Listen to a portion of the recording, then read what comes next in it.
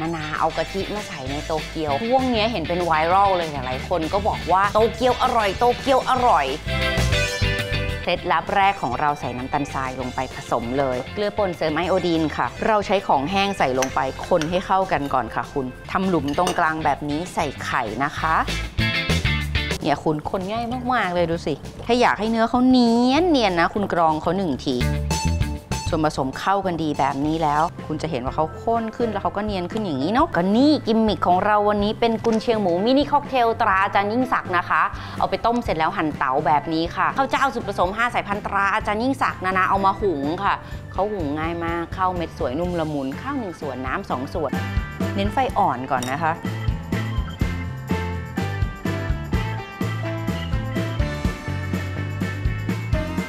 ใส่ชีสลงไปแบบนี้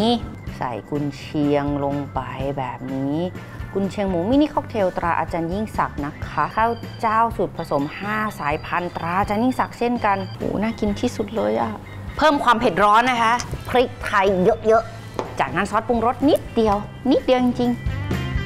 ๆร้อนชา